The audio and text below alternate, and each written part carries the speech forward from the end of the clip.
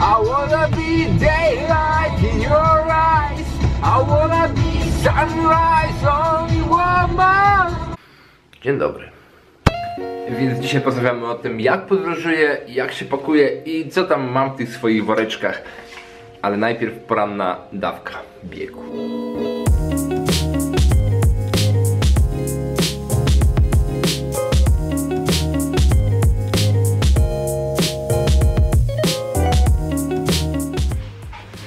I z powrotem czas na przebranie.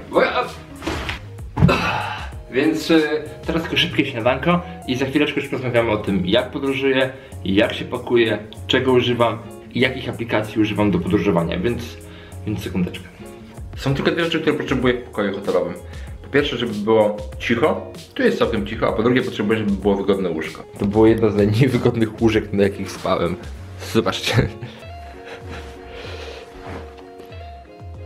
No nic, uroki. Tak więc, jeżeli się wybieram w podróże, które trwają mniej niż dwa dni, czyli dwa dni albo jeden, to wszystko biorę w ten plecak. Szybciutko. To jest plecak, to jest plecak Samsonite, nie wiem jaki model, ale jest bardzo fajny. I teraz pokażę co mam w tym plecaku od A do Z. Laptop. Ładowarka do laptopa. Słuchawki Bose Quiet Comfort chyba 10 albo 11, coś w tym stylu. Potrafią wyciszać otoczenie co jest przydatne szczególnie gdy jadę pociągiem albo lecę samolotem. Zapasowa bateria do wyciszania i bardzo przyjemny pokrowiec. Ładowarka do aparatu plus zapasowa bateria. Zmieniacz do slajdów z takim laserem i dwie przejściówki na VGA i DVI. Mój notes, w którym mam między innymi wypisane swoje cele na moje życie i na ten rok, które codziennie przeglądam i długopis, który dostałem któregoś pięknego dnia od swojej wspaniałej żony. Na wszelki wypadek zatyczki do uszu i yy, na oczy, ale używam tego bardzo rzadko. Głównie pociąg i samolot. Chusteczki odświeżające i płyn dezynfekujący do rąk. Portfel, paszport i wizytownik. Natomiast y, nie mogę mieć wizytówek dopóki nie zarobiłem miliona złotych, więc jest pusty. Klucz USB, trochę kluczy i chusteczki.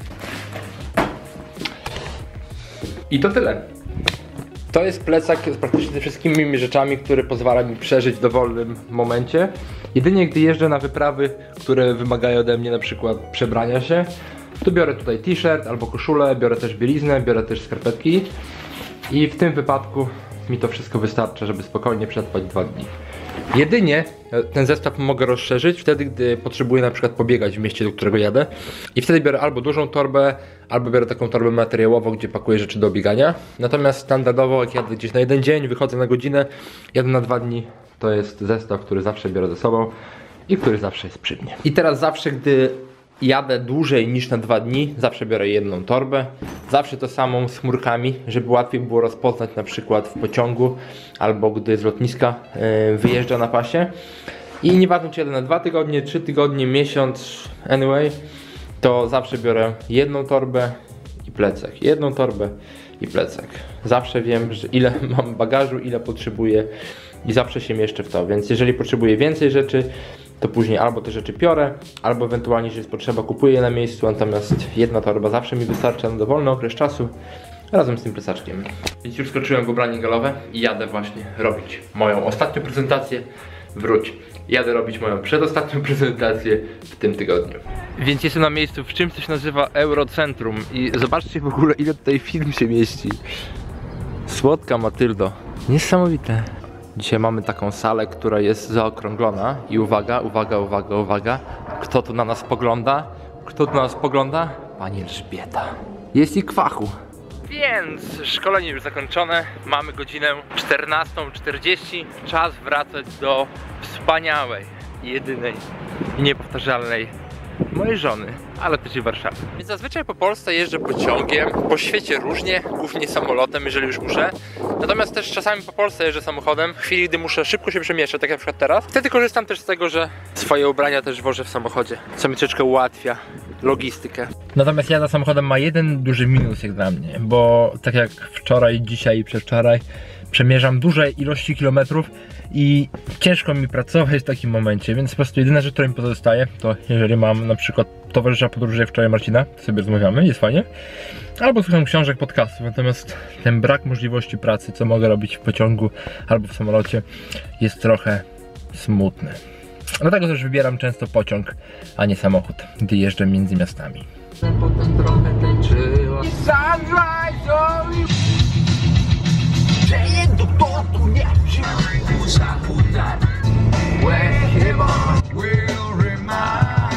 I już jestem w domu. Przywiozłem dzieciom wołóweczkę. Jak krówki smakują? Dobra króweczka. Dobrze, ale piszcie książkę. Pisze książkę? Więc Piotrek pisze książkę, jakby ktoś nie wiedział, a ja będę ją czytał. Będą przeczytać, jak napiszesz? Więc yy, chciałbym jeszcze Ci pokazać parę aplikacji, których używam do planowania podróży i ogólnie do podróżowania, bo to jest chyba dość ciekawy temat. Odrobinkę. Więc zaczynajmy. Więc po pierwsze loty. Loty rezerwuję używając głównie ostatnio Google Flights, który znajduje dla mnie dość ciekawe loty. Tak więc znalazłem też ostatnio loty z Warszawy do Barcelony w dobrej cenie. Znalazłem loty z Warszawy przez bodajże Amsterdam do Bolonii e, gdzie też mają polecę, więc Google Flights. Ciekawie jest z hotelami, więc moim takim głównym numer jeden miejscem do szukania hoteli jest Trivago. Więc y, teraz hotel we Wrocławiu i hotel w Katowicach razem przez Trivago. Po prostu wpisuję, a Trivago wyszukuje na różnych stronach, gdzie są najtańsze ceny. Czasami to jest Booking.com, czasami to są inne strony. Ja jeżeli jeżdżę na jeden dzień, czasami odrobinkę dłużej, ale głównie gdy mówię o jednym dniu, zawsze biorę hotel yy, i w hotelu sobie śpię. Natomiast jeżeli jadę na dłuższe wyprawy, głównie gdy jeżdżę na dłuższe wyprawy z rodziną, to albo rezerwuję po prostu hotel na dłuższy dzień używając Trivago albo Booking.com, tak też na przykład znaleźliśmy e, willę Kniazia w Białowieży właśnie na Booking.com. Tak więc e, w części wypadków śpimy w hotelach albo w miejscach, które możemy znaleźć na Booking.com albo Trivago. Natomiast w dużej mierze śpimy w domach innych osób, korzystając z aplikacji Airbnb. Więc dzięki Airbnb można znaleźć naprawdę ciekawe domy i innego rodzaju twory. Są też łódki, domki na drzewach na całym świecie. Tak więc my w ostatnich czasach byliśmy w Krakowie, w bardzo fajnym mieszkaniu pana Włodzimierza bodajże, jeżeli dobrze pamiętam. E, byliśmy w Chorwacji w jednym mieszkaniu, w Chorwacji w innym mieszkaniu, też w Chorwacji. Po prostu wynajmowaliśmy cały dom i sobie w nim żyliśmy. Ten dom był bardzo fajny. To była prawie prywatna plaża przy brzegu. A tak wyglądał widok z jadalni. Był widok po prostu na na morze. I w maju jadąc do Hiszpanii też wynajęliśmy dom w Airbnb, a raczej mieszkanie w Airbnb. Też jak będę jechał do Włoch, to zarezerwuję mieszkanie w Fienzie. I to w sumie tyle. Minimalistycznie, mało bagażu, yy, prosta rzecz, jedna walizka albo walizka i plecak. Plecak zawsze ten sam, bez żadnych zmian, zawsze przy sobie kilka aplikacji, których używam do podróżowania po mieście, używam Ubera głównie i to byłoby na tyle. Jestem w końcu w domu, trochę zmęczony, ale w końcu. Dzisiaj też zaczynam projekt przeczytania Biblii, więc używam takiego specjalnego systemu, który pozwala czytać jeden fragment przez każdy dzień roku. Trzy fragmenty przez każdy dzień roku. Więc to się dzieje, dzieje się w ogóle bardzo dużo. Bardzo dużo. Żeby to powiedzieć, byłoby trzeba pewnie spędzić pół godziny, co się teraz ciekawego dzieje. Więc to, co po prostu będę robił, będę starał się dokumentować jeszcze więcej i mam nadzieję, że będzie się przy tym bardzo dobrze bawić. Tak więc ja wracam do rodziny, a my widzimy się jutro.